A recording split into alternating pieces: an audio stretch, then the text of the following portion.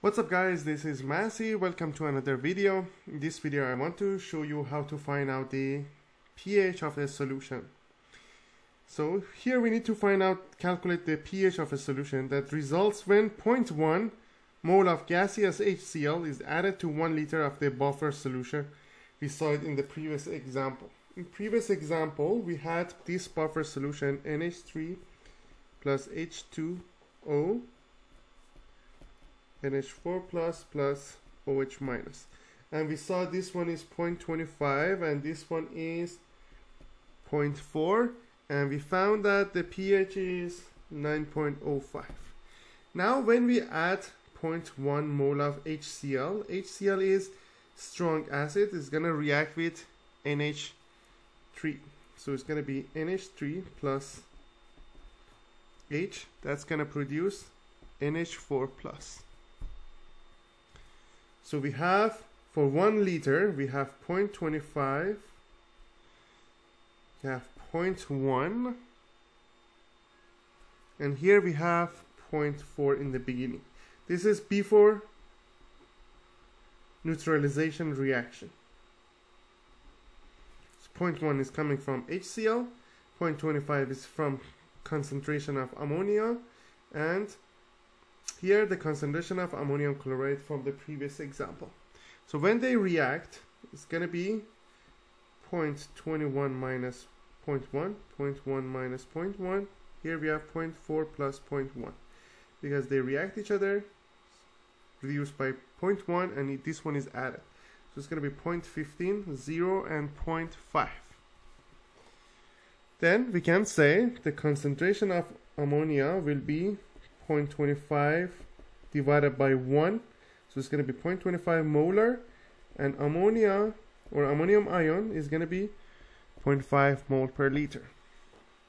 So that's going to be the concentration after the neutralization reaction. So now I need to find out the pH.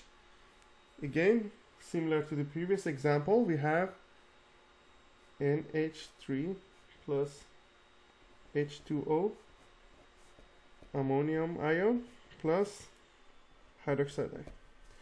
So we have 0.15, 0.5 and this one is negligible, negative x plus x plus x. So Kb will be 0.5, that's ICE table. So this one we have x, 0.5 plus x and this one is 0.15 minus x. So it's going to be 0.5 plus x times x divided by 0.15 minus x. Therefore, since it's a weak acid, weak base, these two cancel out.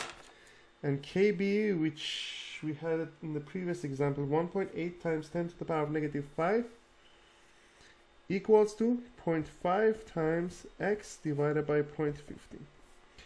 So x will be 0.15 times 1.8 divided by 0.5 that will be 0.54 times 10 to the power of negative 5 or I can say 5.4 times 10 to the power of negative 6 mole per liter. If you want to find out the POH negative log 10 to the power of negative 6 that will make it as 5.27 so pH will be 14 minus 5.27 that will be 8.73